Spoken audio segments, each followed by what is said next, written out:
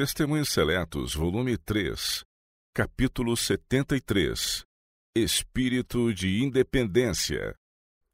Antes de partir para a Austrália, e desde que cheguei a este país, tenho sido instruída de que há uma grande obra para ser feita nos Estados Unidos. Os que estavam na obra a princípio estão desaparecendo. Apenas uns poucos dos pioneiros da causa permanecem agora entre nós. Muitos dos pesados encargos antigamente assumidos por homens de longa experiência estão recaindo agora sobre homens mais jovens. Esta transferência de responsabilidades para obreiros, cuja experiência é mais ou menos limitada, acha-se acompanhada de alguns perigos contra os quais precisamos precaver-nos. O mundo está cheio de lutas pela supremacia. O espírito de afastamento de companheiros na obra, o espírito de desorganização está no próprio ar que respiramos.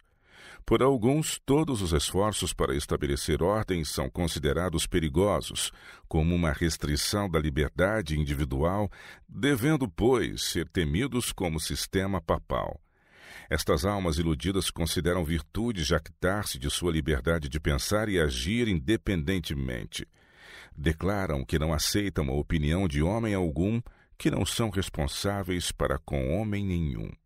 Fui instruída de que Satanás se esforça especialmente para levar homens a julgar que Deus se agrada de que escolham seu próprio modo de proceder, independentemente do conselho de seus irmãos. Aí reside um grave perigo para a prosperidade de nossa obra. Precisamos agir discretamente, ajuizadamente, em harmonia com o juízo de conselheiros tementes a Deus, pois nesse procedimento só está a nossa segurança e força. Do outro modo, Deus não pode operar conosco por meio de nós e em nosso favor.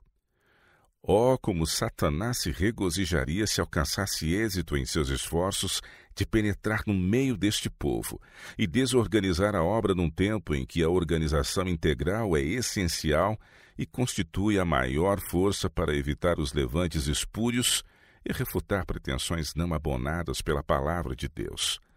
Precisamos manter as linhas uniformemente para que não haja quebra do sistema de organização e ordem que se ergueu por meio de sábio, cuidadoso labor. Não se deve dar autonomia a elementos desordeiros que desejem controlar a obra neste tempo. Alguns têm apresentado a ideia de que, ao aproximarmos-nos do fim do tempo, cada filho de Deus agirá independentemente de qualquer organização religiosa. Mas fui instruída pelo Senhor de que nesta obra não há isso de cada qual ser independente. As estrelas do céu estão todas sujeitas a leis, cada uma influenciando a outra para fazer a vontade de Deus, prestando obediência comum à lei que lhes dirige a ação. E para que a obra do Senhor possa avançar sadia e solidamente, seu povo deve unir-se. Os movimentos esporádicos agitados de alguns que pretendem ser cristãos são bem representados pelo trabalho de cavalos fortes, mas não adestrados quando um puxa para frente, outro puxa para trás. E a voz de seu guia, um se precipita para adiante, o outro fica imóvel. Se os homens não agirem em harmonia na grande e importante obra para este tempo, haverá confusão. Não é bom sinal recusarem-se os homens a unir-se a seus irmãos e preferirem agir sozinhos. Falem os obreiros confidencialmente com os irmãos que estão dispostos a apontar cada desvio dos princípios verdadeiros. Se os homens tomarem o jugo de Cristo, não poderão puxar cada um para seu lado. Puxarão com Cristo. Alguns obreiros puxam com toda a força que Deus lhes deu, mas não aprenderam ainda que não devem puxar sozinhos. Em vez de isolar-se, puxem eles em harmonia com seus coobreiros. A menos que isso façam, sua atividade se processará fora de tempo e em direção errada.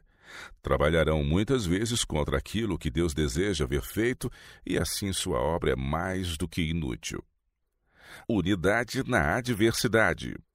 Por outro lado, os guias dentre o povo de Deus devem precaver-se contra o perigo de condenar os métodos de obreiros que são pelo Senhor levados a fazer uma obra especial que só poucos estão habilitados para desempenhar.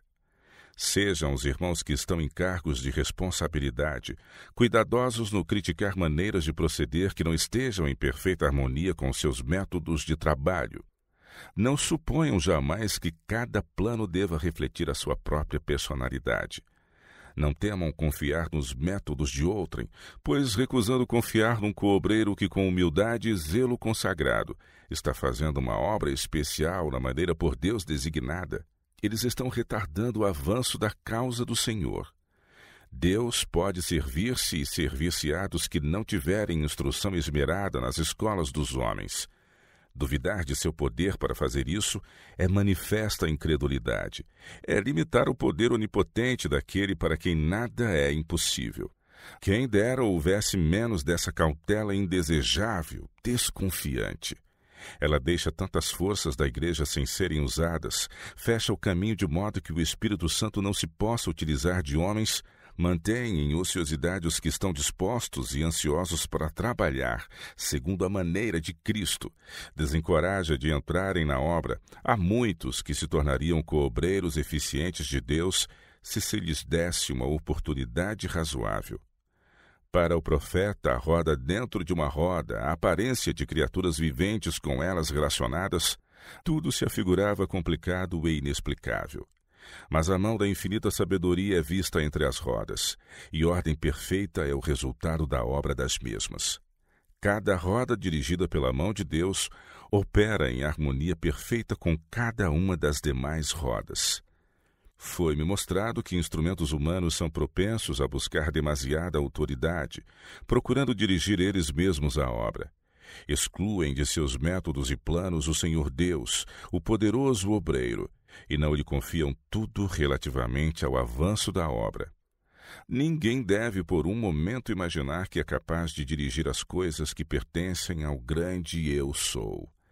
Deus, em sua providência, está preparando um caminho de maneira que a obra possa ser feita por agentes humanos. Fique, pois, cada qual em seu posto de dever, para desempenhar sua parte para este tempo e saiba que Deus é seu instrutor a Associação Geral. Fui muitas vezes instruída pelo Senhor de que o juízo de homem algum deve estar sujeito ao juízo de outro homem qualquer. Nunca deve a mente de um homem ou uns poucos homens ser considerada suficiente em sabedoria e autoridade para controlar a obra e dizer quais os planos que devam ser seguidos. Mas quando numa Assembleia Geral é exercido o juízo dos irmãos reunidos de todas as partes do campo, independência e juízo particulares não devem obstinadamente ser mantidos, mas renunciados. Nunca deve um obreiro considerar virtude a persistente conservação de sua atitude de independência, contrariamente à decisão do corpo geral. Por vezes, quando um pequeno grupo de homens, aos quais se acha confiada a direção geral da obra, tem procurado, em nome da Associação Geral, exercer planos imprudentes e restringir a obra de Deus, tenho dito que eu não poderia por mais tempo considerar a voz da Associação Geral, representada por esses poucos homens, como a voz de Deus. Mas isto não equivale a dizer que as decisões de uma associação geral, composta de uma assembleia de homens representativos e devidamente designados de todas as partes do campo, não deva ser respeitada. Deus ordenou que os representantes de sua igreja de todas as partes da terra, quando reunidos numa assembleia geral, devam ter autoridade. O erro que alguns estão em perigo de cometer é dar à opinião e ao juízo de um homem ou de um pequeno grupo de homens a plena medida de autoridade e influência de que Deus revestiu sua igreja no juízo e voz da Associação Geral, reunida para fazer planos para a prosperidade e avançamento de sua obra.